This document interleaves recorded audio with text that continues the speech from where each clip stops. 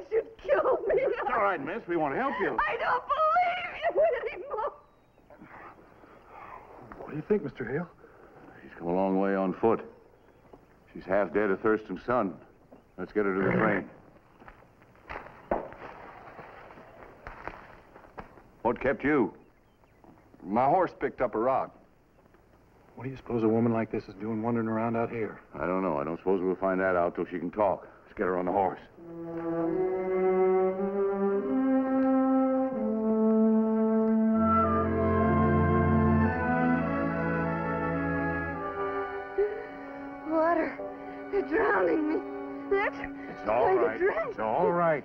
You're with friends now. Oh, the water is c- clogging up.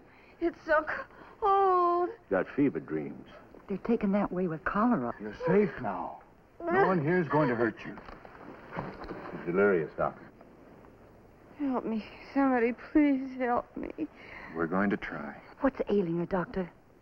Well, she's exhausted and starving. Aside from that, I can't tell. Let's get her to a wagon. Uh, the only question is whose. Paul, how about ours? Well, the thing is, we're crowded already. Take her to mine. Uh, we all want to do our part.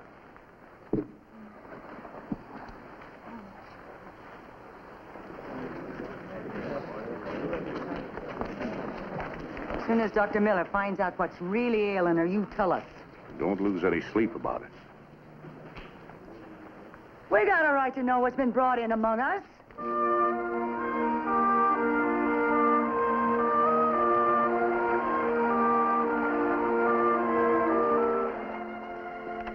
Good food and a long sleep.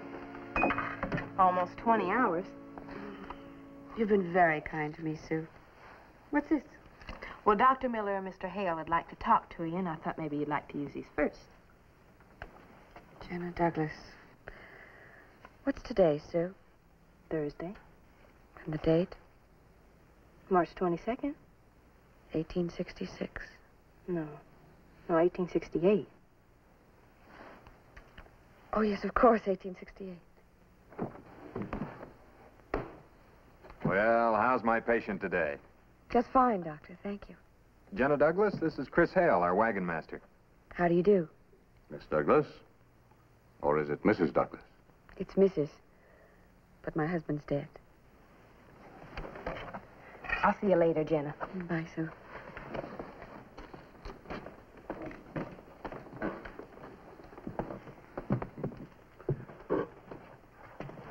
Well, we, uh, we don't want to tire you. But you would like to know how I'm out here all alone. We know telling us may be painful for you. Well, I, I hardly know where to begin. Well, uh, where did you come from, Mrs. Douglas? From? Oh, I was from Kirbyville. That lay to the south of our route. I'd been a widow several years when my cousin and her husband asked me to go west with them to California. We'd been out two days. One night I went to the creek for water. I heard Helen scream and I heard some gunshots. I ran back to the camp, but I didn't go into the clearing. I saw Helen, Steve, and the children lying on the ground. There were some men. White men? Yes. Scavengers, probably. I hid in the underbrush, and I saw them take the wagon and the horses. I, I should have done something. What could an unarmed woman do? Are you in pain? No, it burns on my hands and arms. They've never quite healed. And after the men left? I, I went to Helen and the others. There was nothing I could do. I, I ran. I, I tried to get away. I ran. I walked. I did anything I could. I, I wished I was dead. The attack occurred on the 14th. You wandered around almost a week. I don't remember very much about the last couple of days. Well, now we know something of the past. What about the future? Mr. Hale, I would so like to stay with the wagon train. Well, you certainly go with us as far as Dawson. No. No, I mean, I want to go as far as California, if that's possible. Well, there are complications. I know I haven't got any money. I have nothing except the clothes I was wearing. But couldn't I work my way through? I'll be well in a couple of days. Mr. Hale, please, I have nothing or no one to go back to. Please. Well, let's just take it a step at a time. We won't be into Dawson for a week or ten days, and in the meantime, you just concentrate on getting your strength back. Well, at least you didn't say no. We'll let you get some rest. Thank you.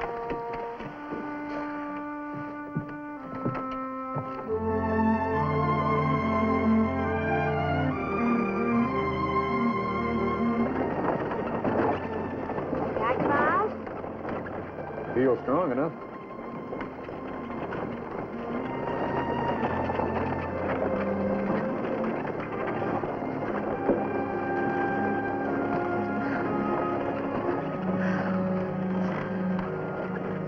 It's good to see where I'm going. Passed through some beautiful country the last couple of days. That's gone and forgotten. I only want to see what's ahead. Sometimes it is not possible for a person to appreciate what is ahead unless he first understands what what is past. That amuse you? no, it's not what you said. It's the way you said it. You sounded like a, a little old philosopher handing out advice on his 80th birthday. I'm caught. I was quoting Dr. Liébeault. He was one of my professors in Europe. You went to school in Europe? Almost four years. I was lucky enough to work with some great men. Charcot, Bernheim, Liébeault. They're making some exciting discoveries. The same way we're exploring this country, they're exploring the human body and the human mind. You all right? Yes. Yes, I just felt a little faint for a minute. Uh, I wish more doctors in this country knew what was being done over there for people who a few years ago were being locked away as hopelessly incurable. I wonder why a doctor with a European background should be out here. Wouldn't you do better in the East, in New York or Philadelphia? I wasn't interested in the society practice. Where are you going? Napa Valley? It's north of San Francisco. Napa Valley. Sounds so peaceful. It's beautiful. They're starting vineyards there. Acres and acres of them. You've been there then? I was out there first last year. You're going to stay with your cousin when you get to California? No, I wouldn't want to impose on Mary. I was going to get a job of some sort. But you said your cousin's name was Helen. Yes, of course. Helen. What did I say, Mary? What's the matter? Nothing. Your arms. They hurt you? I'm, I'm feeling a little tired. I think I'll lie down for a while.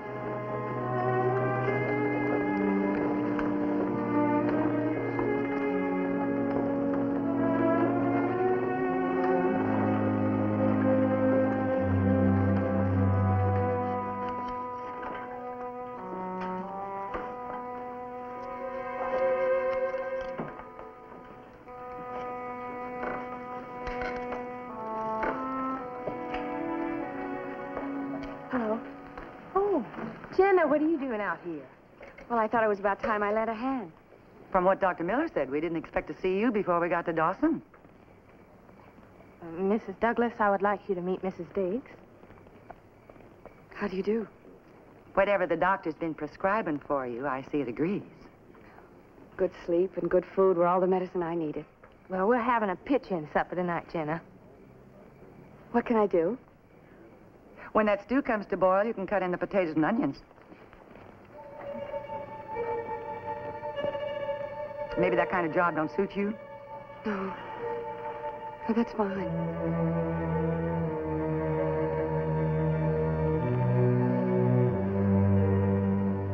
You shouldn't be without a shawl, Jenna. The one you lent me's in the wagon. I'll get it for you. No, no. It's all right. I'll be right back.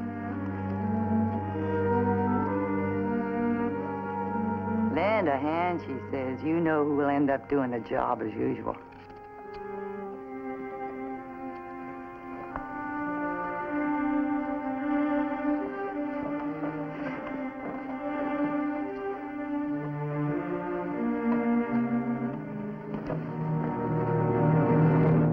Oh, excuse me. Oh, that's all right. You don't remember me. I'm one of the men that found you. Ed Lenders. Thank you, Mr. Lenders. Linder. You know how to say thanks better than that. Please, A woman like you knows how to show when she's grateful. let go, please. Nobody can touch you but the doc, that it? Well, I ain't read no medical books, nor been to school in Europe.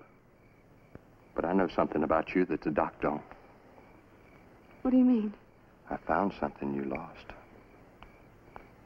You know what I'm talking about, don't you? A kind of coat. What's the name they give it? Straight jacket, that it?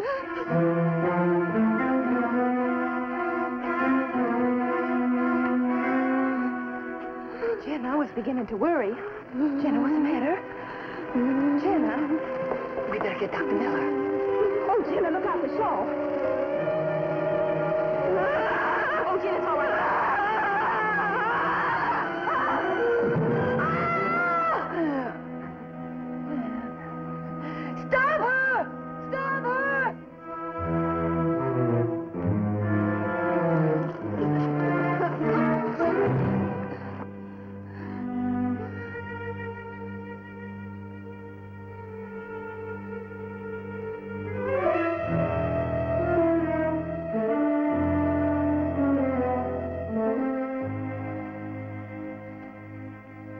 You a hand?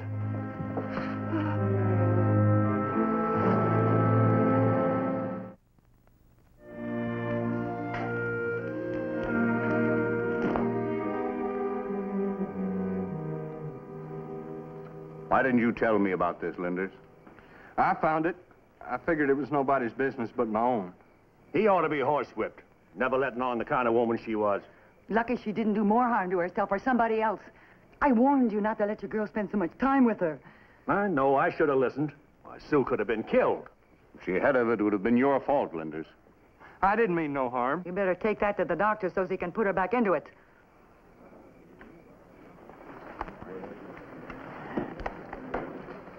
Where is he?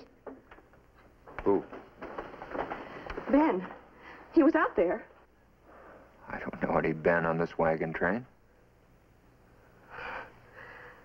No, of course you don't. It wasn't Ben. Couldn't be. Somebody with a crutch. It was Andy Green. Andy Green. The shawl. It was on fire. Is Sue all right? Is she hurt? No. Just a bump on the head. I have to see her. I wouldn't go out there, Jenna. But you don't understand. There's a man out there who may be telling lies about me. I want the people to know the truth. Were you in that hospital in Palmer Falls? Oh, I told you I'm from Kirbyville. You're ill. Uh. I want to help you. Hurts. Can't you do something to stop the pain? I'm burning up. David?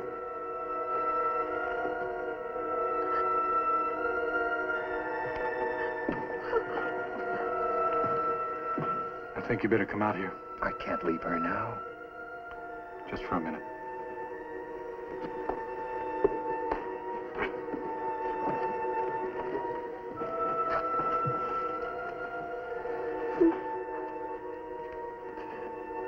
Jenna, I want you to rest here for a little while. I'll be right back.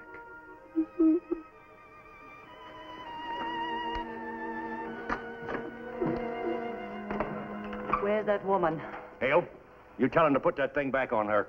Mrs. Douglas is my patient. I'll treat her as I think best. Either you put that jacket on her or tie her up. She's not violent. No, she's not, huh? Well, she made a bad lump on my girl's head. For some reason, Jenna was afraid of that fire. Now, when she knocked me down, she didn't know what she was doing. That's just it. Next time she may kill somebody. Mrs. Douglas is ill. I think I can help her. All right, then send her back where she belongs. We don't want such as her on this train. If Jenna Douglas is going to jeopardize your safety, I'll see that she leaves the train. But I'll make the decision, nobody else. Now, suppose we all get back to our own jobs. Let me tend to mine. Chris, I don't want to make trouble for you. I'll leave the train with her tonight to keep peace. But I won't desert her or tie her up. You don't think she'd hurt anyone, do you? I'll see to it that she doesn't. Your word's good enough for me, Doctor. Thanks. And like I told her, we can decide what's best when we get to Dawson.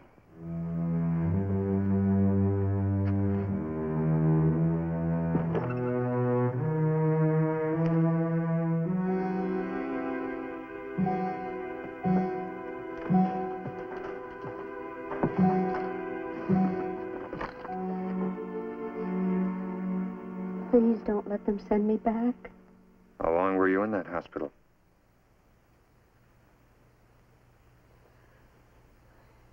Seemed like forever. But it was just under two years. What's that? It'll help you sleep. Oh, no, please. I don't want to sleep. Not just yet. Please. I never should have been in that hospital in the first place. I wasn't like the others. I tried to tell them that, but they wouldn't believe me. So I had to run away. You said you wanted to help me. And I meant it. Then, then please give me all the food and water you can spare and help me slip away tonight. I can't do that. Jenny, you wouldn't stand a chance out there alone. What kind of chance do I have if I stay with the train? The minute we get to Dawson, they'll turn me over to the authorities, and then they'll send me right back to Palmer Falls. I couldn't stand that. I'd rather be dead. Jenna, you're ill. No! You're ill, but you can be cured. That's what they said when they sent me to that hospital. Hospital. It was more like a prison. The most decent thing they did was shave my head so I wouldn't be eaten alive by my own vermin. Had 23 of us in one room. 23 women in a room, maybe, maybe twice the size of this wagon. There wasn't a second, day or night, that someone wasn't moaning or crying. I thought I'd never get used to it. I thought I'd never get any sleep. But I did. I got used to it. That's the terrible thing. You get used to it. You get used to sleeping on a filthy straw mat, eating greasy stew, drinking dirty water. You get used to it because you know that if you complain, they'll beat you with a strap. Or put you down the cistern. Or chain you out in the courtyard, no matter what kind of weather. There was a girl. They put her out in the courtyard and forgot about her. Or said they did. Her feet froze. She was lucky, though. She died when they operated trying to fix them. You know what I thought? When I heard she was dead? I thought, now I can have her blanket. It's warmer than mine.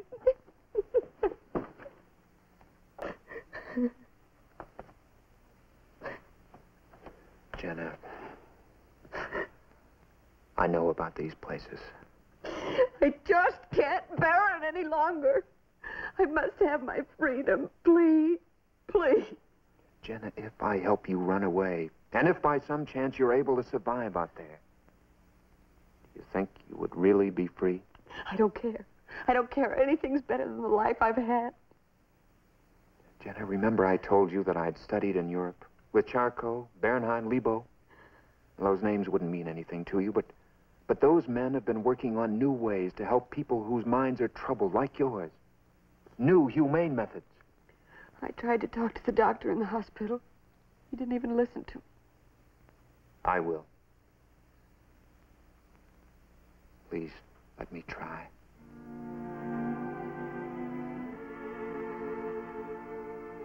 Please, Jenna.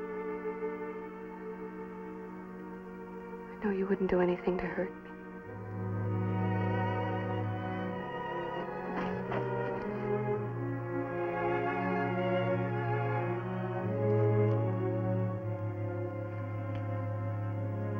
Good night's sleep.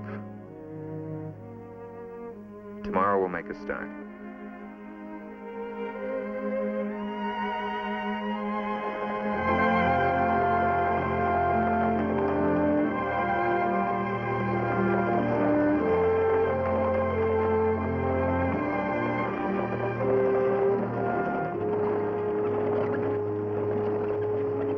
Start the treatment? Right now. Just start talking. What about? Anything, whatever comes in your head. Well, I don't know where to begin. What about your childhood? Any pleasant memory? Come from a large family? No. There were three of us children. Myself and two brothers.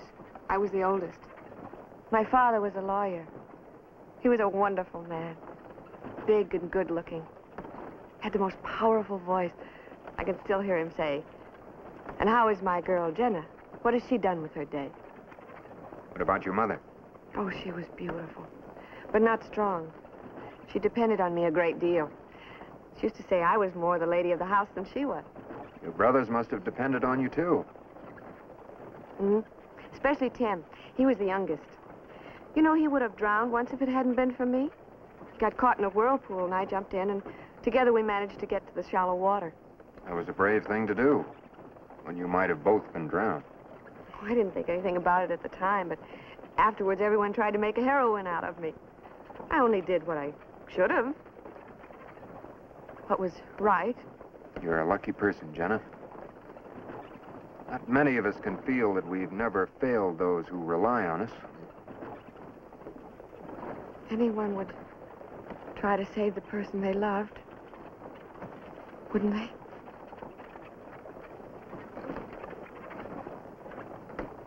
After your mother's death, how long did you keep house for your father? Till I was. till I was married. Ben had a little farm just outside of town. I'd like to hear about your husband. How can I tell you about Ben? He was. He was six foot four and straighter than a young pine. And so strong. On our wedding day, the neighbors gave us a shivaree, you know. But they kept catching up to us. We, we couldn't seem to get rid of them. Finally, Ben just scooped me up in his arms and he started to run. He must have run a mile. I can still remember the way his arms felt around me. And I could feel his heart beating. Not wild, but steady and sure. Finally, we lost the others and we stopped to rest in a grove of wild plums. Not that Ben was tired. Ben was never tired. Must have been a good marriage. Sometimes, sometimes I think those days and nights with Ben never happened. Or that they happened to some other woman.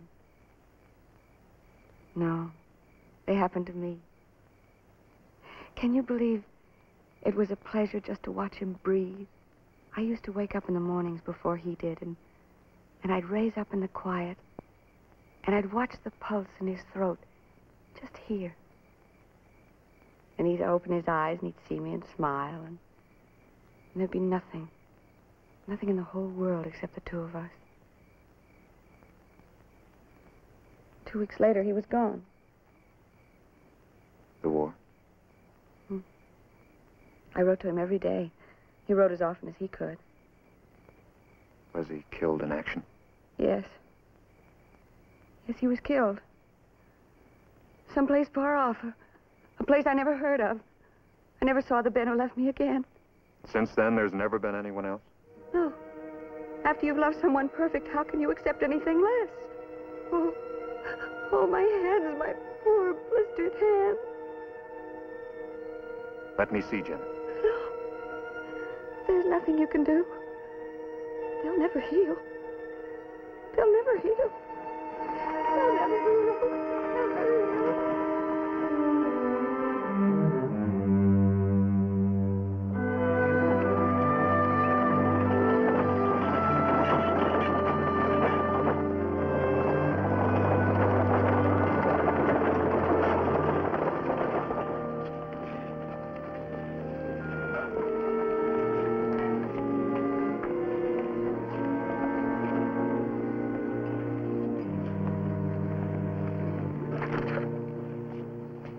Many different kinds of food we get, we always end up eating beans.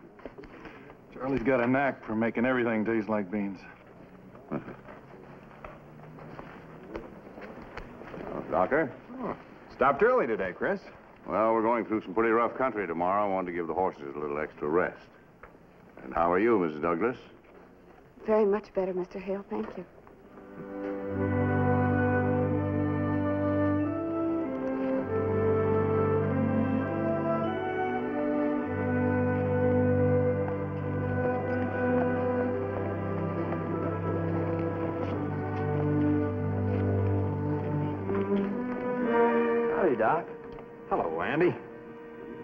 See you out and around, ma'am.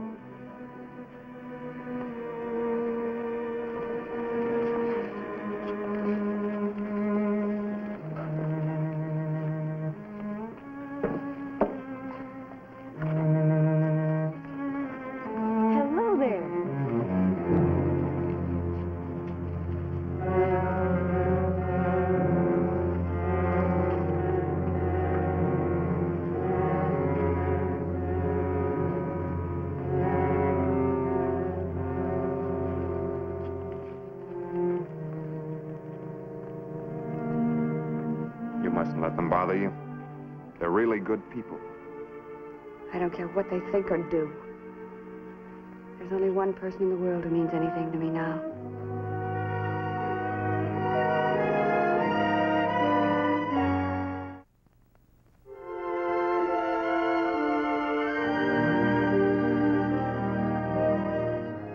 Chris really meant it when he said there was rough country ahead.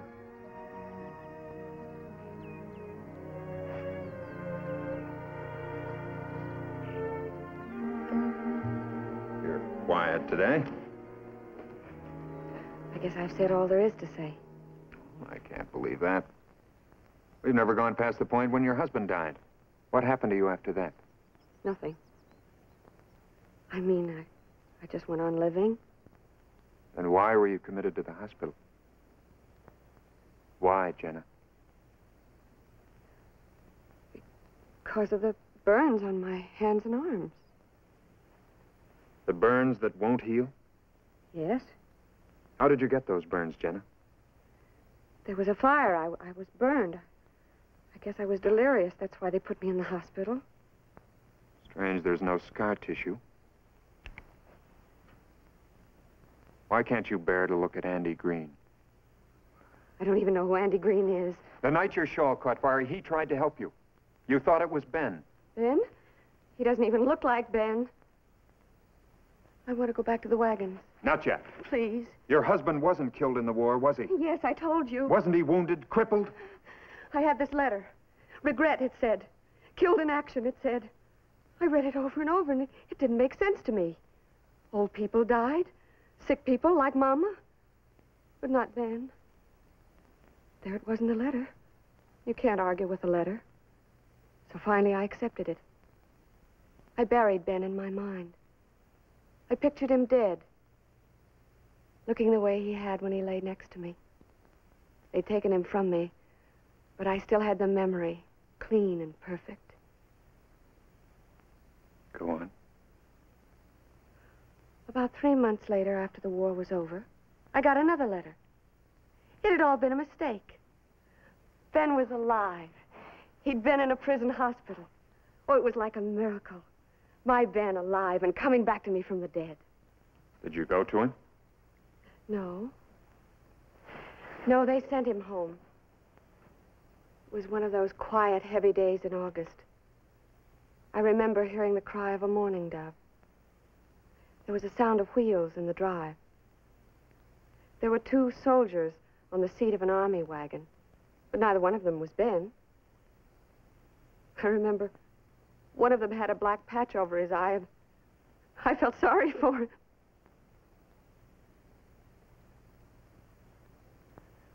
I kept wondering where Ben was. And suddenly I realized this was an ambulance. They were bringing my husband home in an ambulance. I think Black Patch tried to prepare me, but I wouldn't listen to him. I ran around to the back of the wagon and lifted the flap. First, I couldn't see, but I could hear Ben's voice calling my name. I leaned in closer.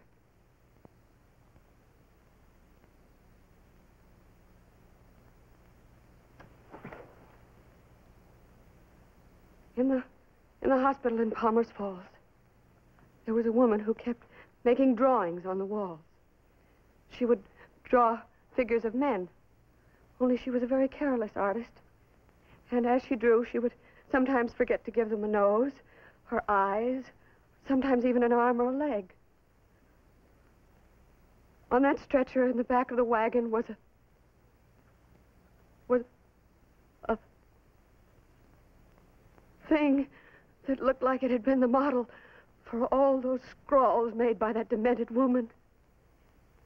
It was it was calling my name and reaching out to me with what the grape shot had left of its, right arm.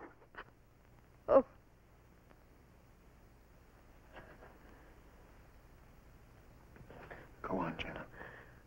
I didn't scream or faint or run away. The two soldiers lifted the stretcher and took it into the house. I offered them whiskey, tea, dinner, anything to put off the time when I'd have to be alone with, with him. But it didn't work. And pretty soon the wagon was rolling down the road. I stood on the porch and watched them go. not hearing at first the voice that called to me. Was so much like the mourning dove. Was he completely helpless? He had crutches, the gift of a grateful government. With the aid of those, he could support himself on his left leg. But it seemed to tire him rather quickly, and he didn't make the effort too often. He only seemed content to look at me. No matter what I did, even in the darkness, when he was laying on his bed and I on mine, I could feel him staring at me with, with that face. You reconciled yourself to looking after him? Well, at first it was bearable. And then gradually he became more and more demanding. I knew I had obligations, but I could only feel pity. I was ashamed of myself.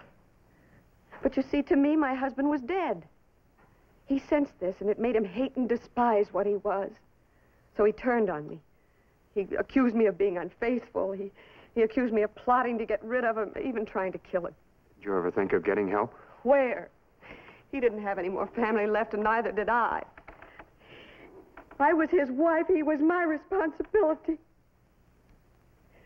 Oh, I don't think I can go on. It hurts so. Jenna, you mustn't hold back now.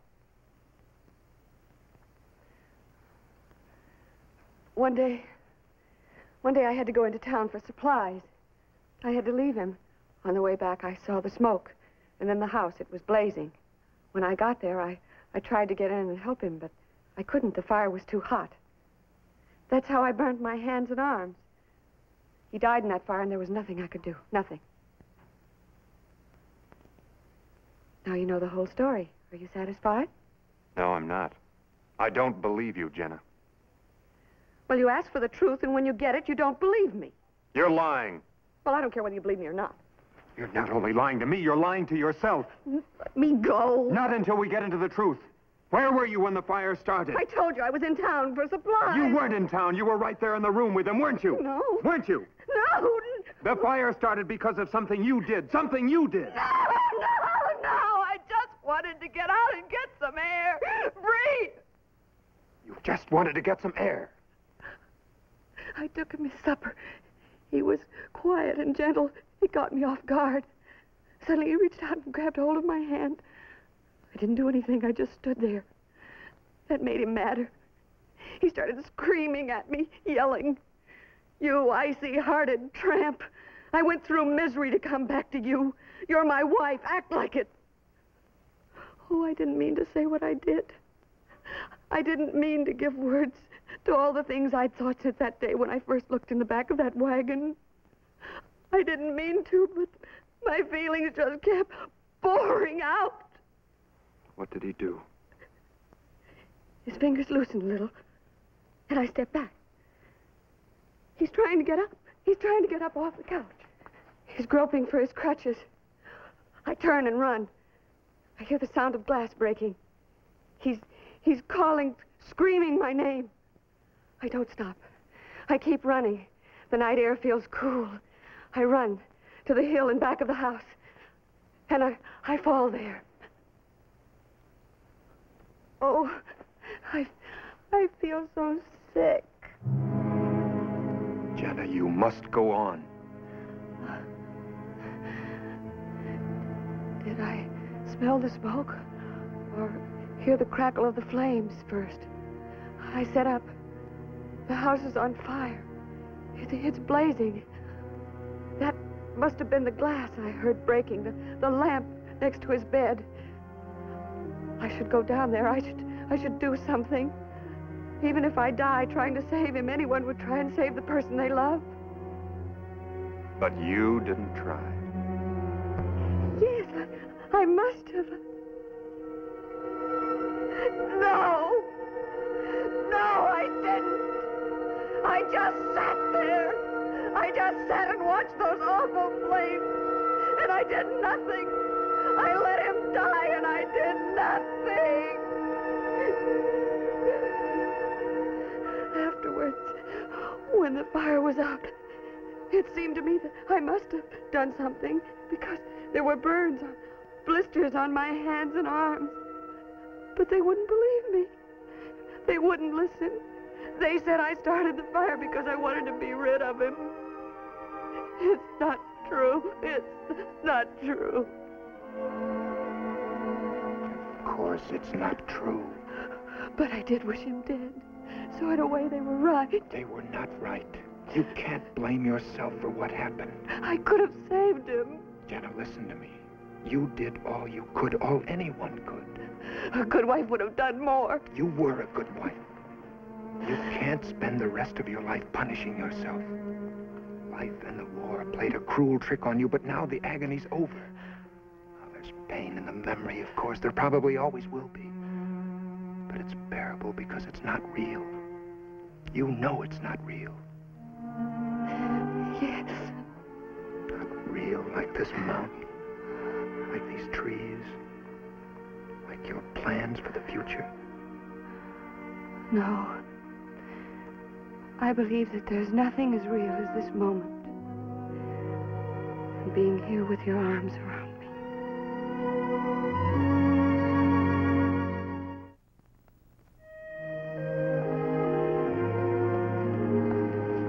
I was hoping you'd let Jenna continue with the train. I don't know. She's perfectly all right. No threat to anyone. Well, maybe I'm thinking of what's best for her. The way you tell it was quite a shock picturing a man as a perfect husband and then being forced to live with what was only a mockery. That's right. Well, we wouldn't want that same thing to happen again, would we? How could it? What are you to Jenna Douglas, David? I'm her doctor. No more than that? Well, just now she's feeling a certain dependency on me. That can happen with a doctor and a patient when they're going through something like this. And what happens when she can't depend on you anymore? Well, by the time she has to face that, we'll have given her back her self confidence. Can she go on with us? I'll still wait till we get to Dawson to answer that.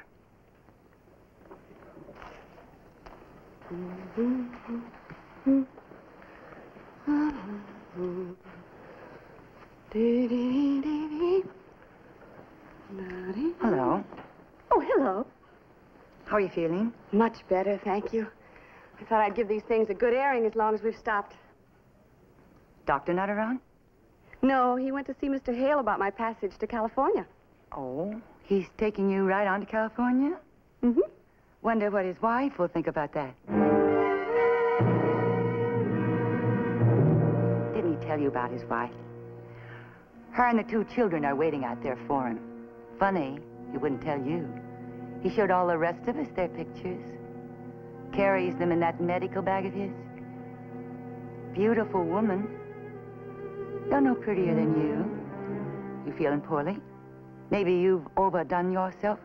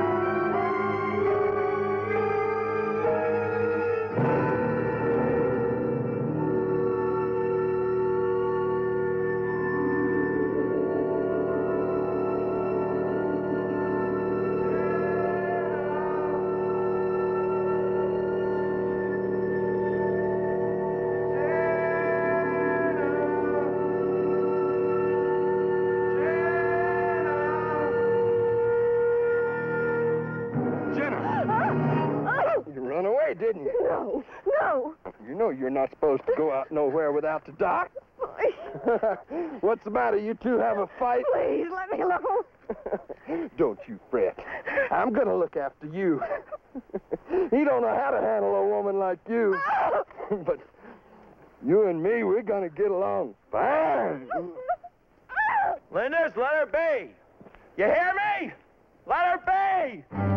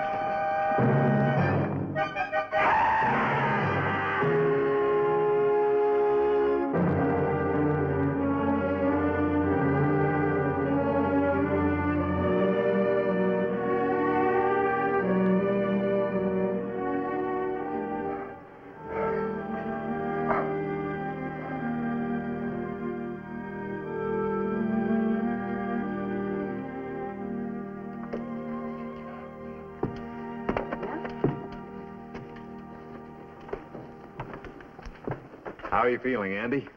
Just fine, Doc.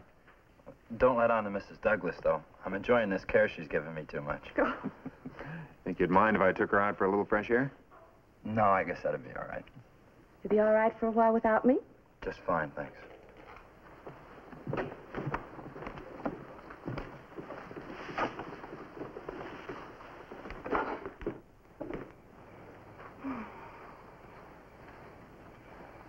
Coffee? No, thank you.